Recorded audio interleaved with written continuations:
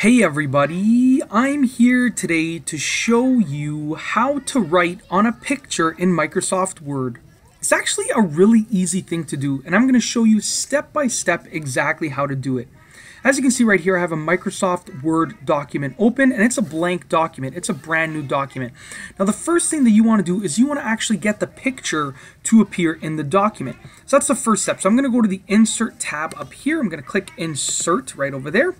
And then we are going to insert a picture. So I'm going to click this right here, a picture from my computer. Let's just choose uh, this picture of myself and my grandmother. So I'm going to double click that right there. And as you can see, I've inserted the picture into the document. Now you can change the sizing of it, but let's just make it a little bit smaller so that it fits on the screen right over here. So as you can see, I've made the uh, picture smaller. Now, the text wrapping is what will control uh, whether or not you can actually uh, write on the picture. So right now, the text wrapping is at its default setting, meaning when I type, it's going to go to the bottom right of the picture. I cannot type onto the picture.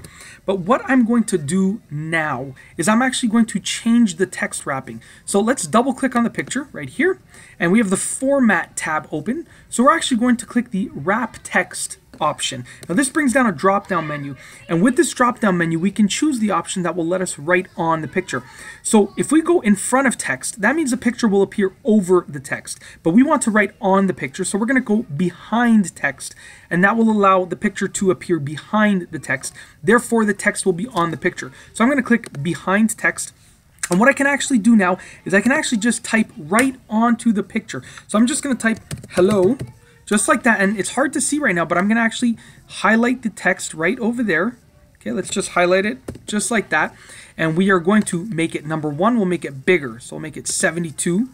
Number two, we're going to make it uh, red. So we'll change the text to red text.